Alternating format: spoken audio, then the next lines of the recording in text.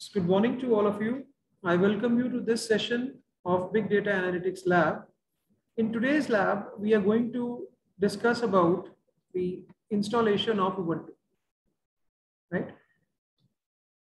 So we'll follow these steps. First of all, we'll download Oracle VirtualBox, then we'll install Oracle VirtualBox. And within the VirtualBox, we'll create a new virtual machine, okay? And then on, uh, like we'll install Ubuntu with the help of that virtual machine, right? So let's go to the first step. Let's download VirtualBox. So just write VirtualBox here.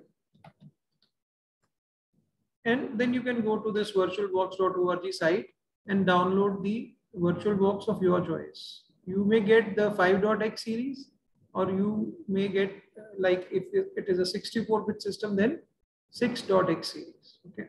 So I have downloaded already the 5.x series. So I'll be using that. Okay. So the installation procedure is very simple. So with you know VirtualBox, uh, one is the installation file, the other one is the extension pack that comes with the, every VirtualBox uh, installation. The extension pack will enhance the working and features of the VirtualBox that you are using. This extension pack is going to enhance the features. So I'm going to install this virtual box by double clicking on this file. So just follow the on-screen instructions.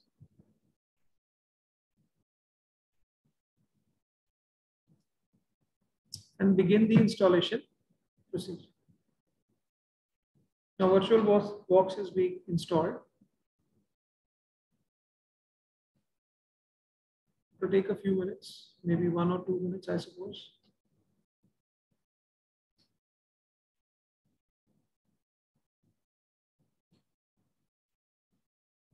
So uh, it has uh, finished installing. Now it says uh, if you want to start, you can just check this button. Okay. So the next thing would be to install the extension pack. So just double click on this.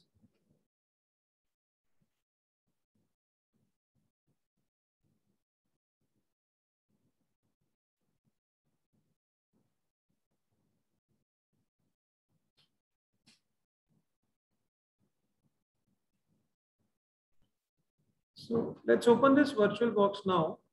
Okay. And within this, uh, there is an option new. Okay. Click on new and create a new virtual machine. So I'm going to create a new virtual machine in which I need to provide the name and the operating system. So I'll pick up the name as say Ubuntu 16.04 and type as Linux and version as 32 bit then click on next. Leave all the settings as they are. You're not going to change much the working of your uh, Ubuntu in the VirtualBox. Okay.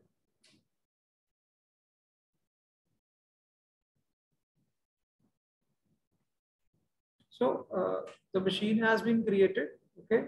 I just now just need to link the ISO file with this. So click on start now.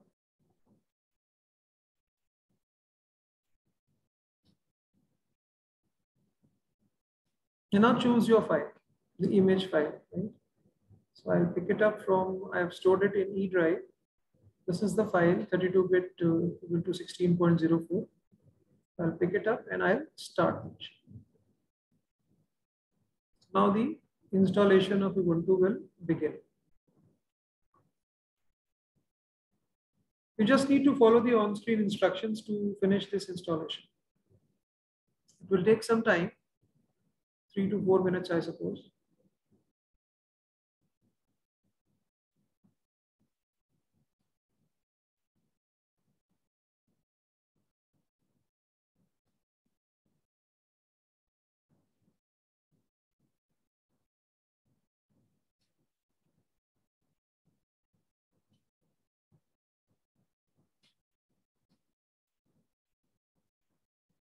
Let's wait for the installation to begin.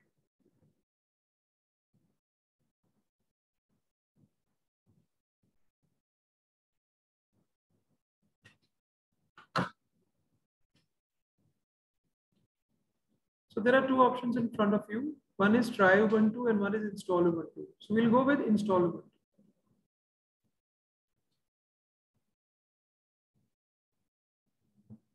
Then click on continue. Pick up this first option, erase disk and install Ubuntu. Use this option while you're using VirtualBox. Otherwise, if you're dual booting, then this option would be very dangerous. Okay, just look for the instructions there and, and properly choose the instructions. Uh, choose the instruction that you want when you are installing a dual boot, right? Click on install. Click on continue. Now the a few screens uh, where you need to answer some prompts and then the installation, the popping of files and the installation procedure will begin.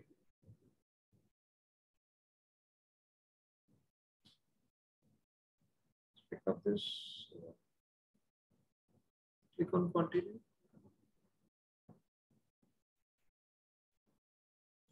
Again, continue. Then you can uh, provide the name here. Okay. You can give the computer name give short names, pick up a username, okay, then choose a password and uh, pick this option. It is good always require my password to log in. Click on continue. Now uh, the copying of files has begun. First, the copying of files would be there, and then the Ubuntu operating system would be installed.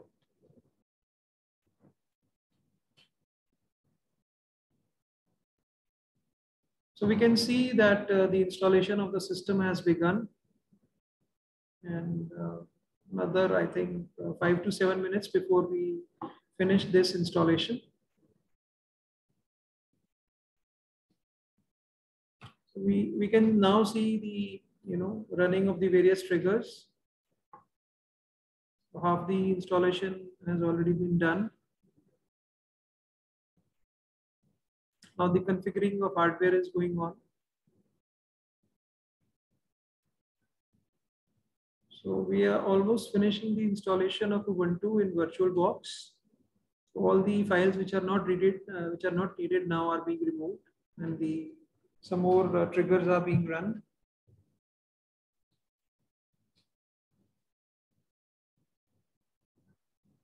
Yes, so we can see that the installation is complete now, and we need to restart the our uh, virtual machine. So I will click on restart now.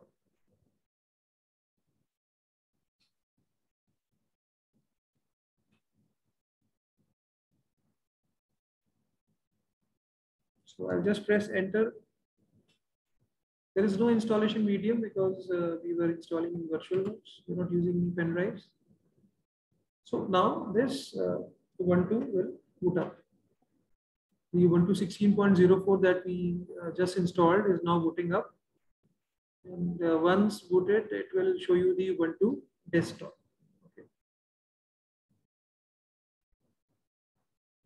So just apply the password here. Now we'll get the Ubuntu desktop.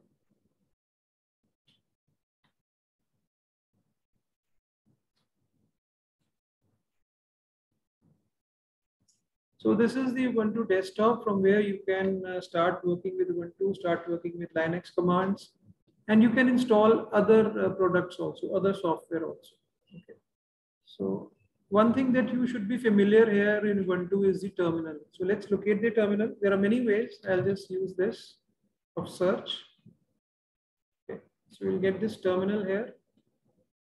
What I'll do is I'll just copy it. I'll place it here. So I'll be needing it uh, very frequently. Okay. So just start the terminal and maximize it. And this is the place like where you work in Ubuntu. This is the, the command line or the terminal. Okay. See, now to increase the font size of the terminal, what we can do is we can right click on the terminal and we can go to this profile preferences.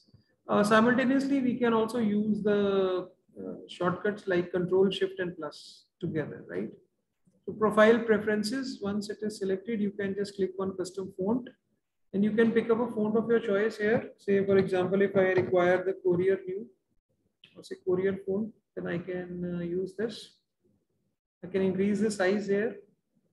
So this is size of 18. I think that's good. Uh, giving us a good visibility actually. Then we can type the commands. The Linux commands can be uh, written over here. For example, if you want to list the files, I can use the ls command. For a longer listing of file, I can use ls-l. So a lot of detail is there in ls-l.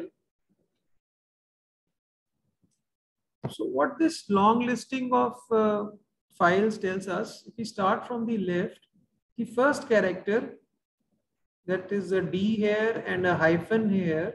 A D would mean that this is a directory and a hyphen would mean that this is a file. Okay. So desktop documents download, these are all directories and examples.desktop is a file. That is a first character tells you whether the, the entry is a directory or a file. The next three set of uh, characters that is RWX, R-X, R-X are the file permissions. Okay, they are the file permissions. The first three characters, the first file permissions are for the owner of the file. In this case, owner is Ajay. Okay, the next three, uh, the next three characters are the permissions for the group to which the owner belongs. And the last three characters are permissions for others. That is the people who don't belong to this group.